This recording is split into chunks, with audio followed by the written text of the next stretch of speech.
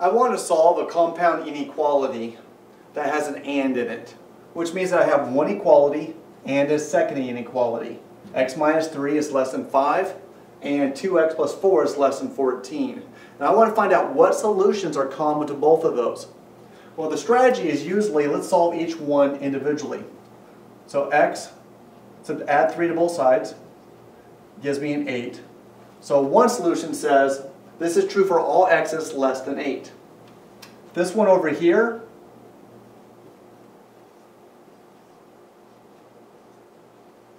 is saying it's true for all x's less than 5. So what values are common to both of those? Sometimes it's a good idea to graph them out.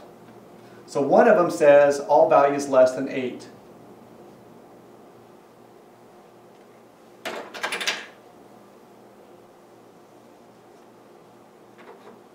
Another one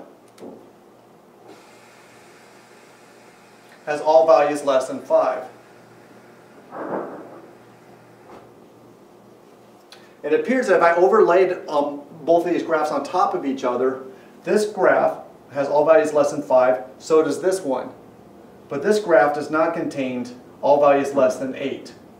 So therefore, the values that are common to both of these graphs is this one down here. So I would say my solution set graphically would be this graph, or another way to write it would be the interval notation of negative infinity to positive 5.